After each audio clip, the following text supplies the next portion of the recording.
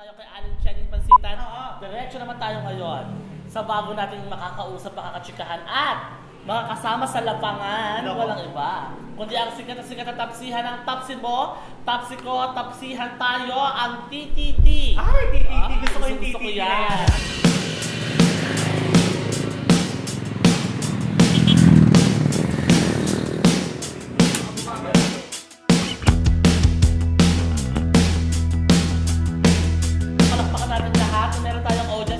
10,000 ngayon dito. Ang owner ng Tapsi Mo, Tapsi Ko, Tapsihan tayo, walang iba kundi si Sir Jed Maglonso. Eh, ba't niyo po naisip nga pala magbukas ng tapsihan dito sa Uran? Mahilig kasi akong kumain. Ay talaga, hindi halata. Parang ako. So, siyempre, gusto mo namang ma-share sa iba. Kasi sa Manila lang ang ta- taxi. So, dito ka ako wala. So, try natin.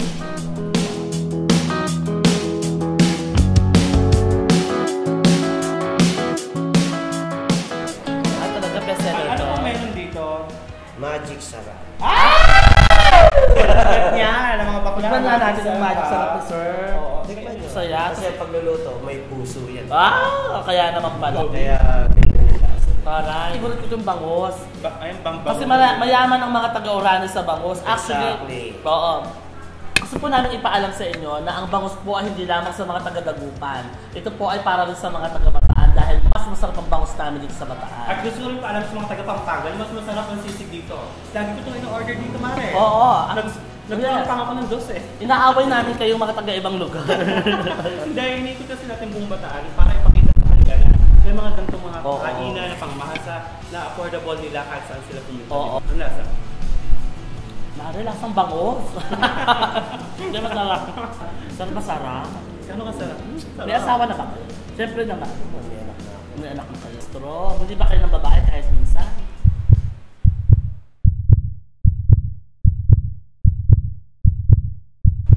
Ah, hindi nakasagot!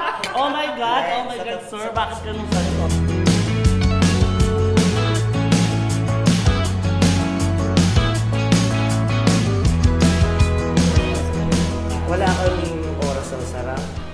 24-7 tayo. Gusto mo yan? 24-7, parang ano lang, Totenbahan convenience store. Daig pa ang Parang- 7-Eleven? Oo, dapat po wala na kayong pintuan. Ito na lang sa Oo, Dapat wala kang dindin para walang saraduha. So sir, siguro malakas din kayo gumamit ng gasol, Mare, kasi wala Oo. patayan ko eh. Oo. Sige po, pasigawin natin mamaya. Tapos magsisindi ho tayo ng pospor. Para masaya naman. para pasabog ng love. Masa corned beef. Ganun yung joke lang. Sarap. Ang sarap. Ang Sarap. Ang sarap. Ang sarap. Hmm. Ni-invite ko po kayo sa aking munting kainan.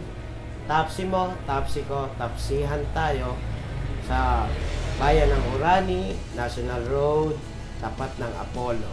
And syempre, thank you to the Sweet and Sour Show! Ko taga Urani. Ang Urani daw ay nagmula kay Orang Nagmamani. Nasaan na siya? Patay na. Sir, what is love? Oo nga. Oo. Yeah. Parang nagiging emo kayo. Parang hugot tayo kayo. Case question.